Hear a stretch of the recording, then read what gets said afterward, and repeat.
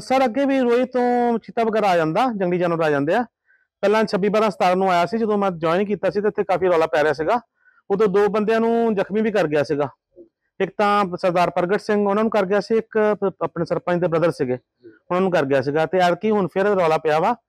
ਤਾਂ ਮਤਲਬ ਮੜੀਆਂ ਸਵੇਰੇ ਬੈਠਾ ਹੋਇਆ ਸੀਗਾ ਔਰ ਰਾਤ ਨੂੰ ਬੰਦੇ ਨੇ ਦੇਖਿਆ ਸਕੂਲ ਪ੍ਰਾਈਵੇਟ ਸਕੂਲ ਇੱਥੇ ਲਾਗੇ। ਕਿਹੜਾ ਸਕੂਲ ਆ? ਪ੍ਰਾਇਮਰੀ ਸਕੂਲ ਉਹਦੀ ਛੱਤ ਤੋਂ ਥੱਲੇ ਨੇ ਛਲਾਂਗ ਮਾਰੀ ਆ। ਤੇ ਮਤਲਬ ਸਕੂਲ ਦੇ ਵਿੱਚ ਕਹਿੰਦੇ ਮੁੜ ਕੇ ਵੜ ਗਿਆ ਵਾ। ਮਾਰਨਿੰਗ ਗੁਰਦੁਆਰਾ ਸਾਹਿਬ ਚ ਅਨਾਉਂਸਮੈਂਟ ਵੀ ਕਰਵਾਈ ਪਿੰਡ ਵਾਲਿਆਂ ਨੇ ਤੇ ਮਤਲਬ ਪਿੰਡ ਵਾਲੇ ਮਗਰ ਲੱਗੇ ਹੋਏ ਕਾਫੀ ਜ਼ਿਆਦਾ। ਸੀ ਇਸ ਵੇਲੇ ਨਾਲ ਦੇ ਗੁਰਦੁਆਰਾ ਸਾਹਿਬ 'ਚ ਬੈਠੇ ਆ ਇਤਿਹਾਦ ਵਜੋਂ ਤਾਂ ਕੋਈ ਨੁਕਸਾਨ ਨਾ ਹੋਵੇ। ਤੇ ਨਹੀਂ ਜਿਹੜਾ ਹੁਣ ਛੇ ਅਚੀਤੇ ਦੀ ਤੁਸੀਂ ਸੁਣ ਰਹੇ ਜੋ ਕੋਈ ਅਧਿਕਾਰੀ ਪ੍ਰਸ਼ਾਸਨ ਪਹੁੰਚਿਆ? ਹਾਂ ਸਰ ਐਸਟੀਐਮ ਸਾਹਿਬ ਨੂੰ ਫੋਨ ਕੀਤਾ ਸੀਗਾ। ਉਹਨਾਂ ਨੇ ਅੱਗੋਂ ਵਨ ਵਨ ਵਿਭਾਗ ਨੂੰ ਫੋਰੈਸਟ ਰੇਂਜ ਆਫੀਸਰ ਨੂੰ ਫੋਨ ਕੀਤਾ। ਫੋਰੈਸਟ ਰੇਂਜ ਆਫੀਸਰ ਦਾ ਫੋਨ ਆਇਆ ਸੀਗਾ ਕਿ ਅਸੀਂ ਟੀਮ ਲੈ ਕੇ ਆ ਰਹੇ ਹਾਂ। ਤੇ ਫਰਦਰ ਟਾਈਮਿੰਗ ਉਹ ਮੈਂ ਦੀ ਵੇਟ ਕਰ ਰਿਹਾ ਵੀ ਕਿਸ ਵੇਲੇ ਟੀਮ ਲੈ ਕੇ ਆਉਂਦੇ ਤੇ ਲੱਗਦਾ ਕਿ ਇੱਥੇ ਅੰਦਰ ਬੈਠਾ ਹੋਏਗਾ? ਸਰ ਮੇ ਵੀ ਇੰਪੋਸੀਬਲ ਆ ਕਿਉਂਕਿ ਦਿਨ ਦੇ ਵਕਤ ਇਹ ਜਾਨਵਰ ਸੌ ਜਾਂਦੇ ਆ ਨੋਕਟਰਨਲ ਨੇ। ਤੇ ਰਾਤ ਨੂੰ ਇਹਨਾਂ ਸ਼ਿਕਾਰ ਕਰਨਾ ਕਿਸੇ ਦਾ ਕੰਨ ਕੱਟ ਜਾਂਦਾ ਕਿਸੇ ਦੀ ਪੂੰਛ ਕੱਟ ਜਾਂਦੇ ਉੱਥੇ ਫਿਰ ਪਤਾ ਲੱਗਦਾ ਕਿ ਜਿਹੜਾ ਚੀਤਾ ਵਾ ਇੱਥੇ ਆਪਣੇ ਏਰੀਆ ਦੇ ਵਿੱਚ ਹੈਗਾ ਵਾ।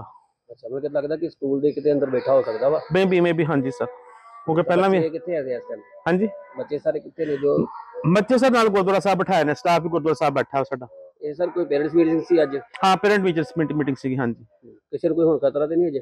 ਹਾਂ ਨਹੀਂ ਸਰ ਖਤਰੇ ਵਜੋਂ ਇਤਿਹਾਦ ਵਜੋਂ ਬੰਦ ਕੀਤਾ ਨਾ ਕਿਸੇ ਨੂੰ ਨੁਕਸਾਨ ਨਾ ਹੋ ਜਾਏ ਕਿਸੇ ਬੱਚੇ ਦਾ ਨੁਕਸਾਨ ਨਾ ਹੋ ਜਾਏ ਕਿਸੇ ਟੀਚਰ ਦਾ ਨੁਕਸਾਨ ਨਾ ਹੋ ਜਾਏ ਕਿਸੇ ਪੇਰੈਂਟਸ ਦਾ ਨੁਕਸਾਨ ਨਾ ਹੋ ਜਾਏ। ਸਰ ਸਵੇਰੇ ਅਨਾਉਂਸਮੈਂਟ ਹੋਈ ਜੀ ਗੁਰਦੁਆਰਾ ਸਾਹਿਬ ਤੋਂ। ਹੂੰ। ਇੱਥੇ ਚੀਤਾ ਜਾਨਵਰ ਫਿਰਦਾ ਜੀ। ਕਿਹੜਾ ਸਕੂਲ ਹੈ? ਕੀ ਨਾ ਸਕੂਲ ਦਾ? ਸੀਨੀਅਰ ਸੈਕੰਡਰੀ ਸਕੂਲ ਕਾਂਗ ਇਹ ਸਕੂਲ ਦੇ ਵਿੱਚ ਲੱਗ ਰਿਹਾ? ਤੁਸੀਂ ਵੇਖਿਆ ਕੁਝ ਨਿਸ਼ਾਨ ਜਾਂ ਕਿਸ ਤਰ੍ਹਾਂ ਕੋਈ? ਬੈਕ ਸਾਈਡ ਤੇ ਹੈਗੇ। ਕੀ ਹੈਗਾ ਪਿੱਛੇ? ਪੰਜਾਂ ਦੇ ਨਿਸ਼ਾਨ ਪੂਰੇ ਲੱਗ ਰਿਹਾ ਕਿ ਅਜਵਿੰਦਰ ਹੋ ਸਕਦਾ ਵਾ? ਹੋ ਸਕਦਾ ਜੀ। ਤੇ ਬੱਚੇ ਸਾਰੇ? ਬੱਚੇ ਗੁਰਦੁਆਰਾ ਸਾਹਿਬ ਬੈਠੇ ਕੀ ਮੰਗ ਕਰਦੇ ਪ੍ਰਸ਼ਾਸਨ ਨੂੰ? ਕਿੰਨੀ ਜਲਦੀ ਹੋਣਾ ਚਾਹੀਦਾ? ਉਹਨਾਂ ਚਿਲ ਤੇ ਆਉਣਾ ਚਾਹੀਦਾ ਜਲਦੀ ਤੋਂ ਜਲਦੀ। ਮੈਨੂੰ ਸਵੇਰੇ ਇਹਨਾਂ ਵੱਲੋਂ ਫੋਨ ਆਇਆ ਸੀ ਉੱਥੇ ਆਫਿਸ ਦੇ ਵਿੱਚ ਕਿ ਇੱਥੇ ਲੈਪਰਡ ਦੀ ਮੂਵਮੈਂਟ ਦੇਖੀ ਗਈ ਹੈ।